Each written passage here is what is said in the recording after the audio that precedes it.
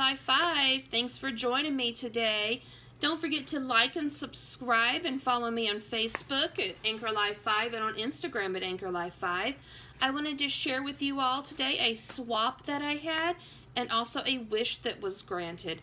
This wish was granted from Lisa Douglas, and I will put her link down below. And every week she does a Make a Wish on her channel, so make sure y'all subscribe and check that one out. Um, she sent me these really, really pretty nail arts. Um, up here, I'm sorry, she's just apologizing for the bags that she had to use, but no big deal, Lisa. Um, look how pretty these are. I have two teenage daughters who are all into nails, and um, they always paint mine about every week. Um, so they will definitely be trying these out. I love this mint green and this um, like Kelly green. And oh, these are so pretty. These are like peach and pink and white. And this really, really pretty um, collage of colors right there.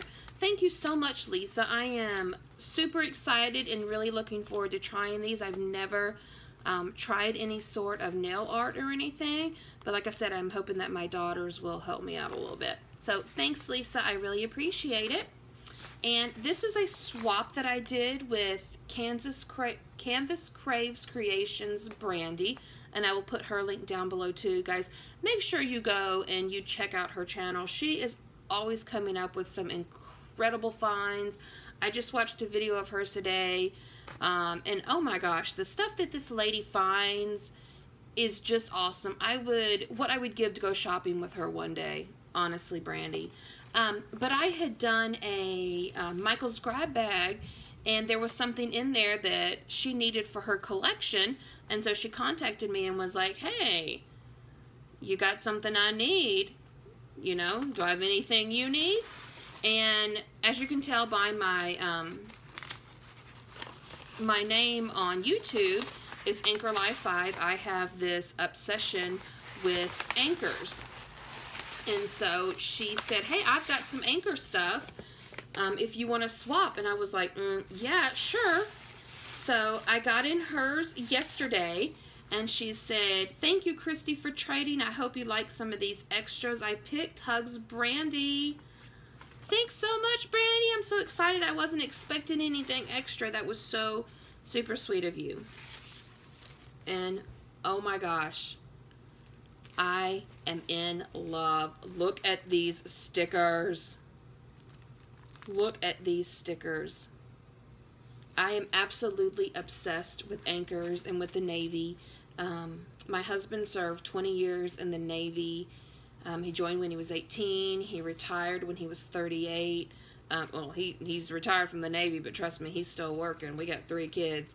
Um, but the Navy was so good to us and to our family, and we are all about supporting still. And um, I just absolutely love anchors, and so this is this is perfect. I love the pinup girls. Look at the little Navy girl. Thank you, Brandy. These will definitely um, go to good use. And then, oh my gosh, I am in love. Look at that. Look at these charms. The anchor and the compass and the ship's wheel. So awesome. Thank you, Brandy. I really, really appreciate it. And then she sent me some extra little goodies and she didn't have to do this, so thank you so much. She sent me these Blue Moon acrylic beads. I will definitely be using these for some charms. And then she sent me this Darice Mix and Mingle metal lined beads. These are so cute. Definitely be using those. And then, oh, this is just gorgeous. Look at this. I wonder if she made this. Oh, it's a tree. Oh, it's like the tree of life, and it's a little pendant. And this is definitely handmade. Brandy, did you make this, or did you buy this? I love this. This is so creative. Thank you so much. I really, really, really appreciate that. Thanks, Brandy. You are so sweet, and the extra goodies that you sent, you didn't have to do that. Um, I hope that you got my package that I sent. I know that it was supposed to be delivered a while ago, and the mail here is just absolutely crazy. I will no longer be using the kiosk at the post office because every time I do, they just, I, yeah, I don't get anything. Um, but with my obsession with anchors too, I don't know if y'all have seen that in the videos, but um, that's a tattoo that I have. There's an anchor, and then I have three fish because I have three kids. And in the tail of each fish, there's a K and a J and a K, and that represents um, each of my kids. And for me, you know, anchors don't mean that something is holding me down. Anchors for me mean that this is what anchors my life, my family, my kids. They're my stability.